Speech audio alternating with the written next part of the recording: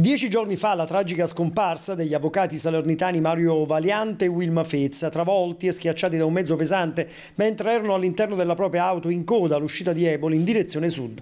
Ora un altro incidente mortale, quasi allo stesso punto, ma sul versante opposto, dove una vettura in panne era ferma sulla carreggiata intorno all'1.30 con il conducente uscito dalla sua auto per allertare i soccorsi insieme ad un altro automobilista in transito. Ma dopo pochi istanti è giunta un'altra vettura che ha tamponato l'automobile automobile ferma. Il conducente, un 41enne di Polla, è morto sul colpo. Inutili i tentativi effettuati dai soccorritori del Vopi, mentre i vigili del fuoco sono stati impegnati per rimettere in sicurezza la carreggiata. A ricostruire la dinamica di quanto accaduto gli agenti della Polstrada, delle sottosezioni di Eboli e Sala Consilina che hanno richiesto l'intervento del medico per la certificazione della morte dell'uomo. Sul posto è giunta un'auto medica, ma il medico a bordo, che non era alla guida, sembra sia risultato in stato di ebbrezza e così sarebbe stato richiesto l'intervento di un altro medico.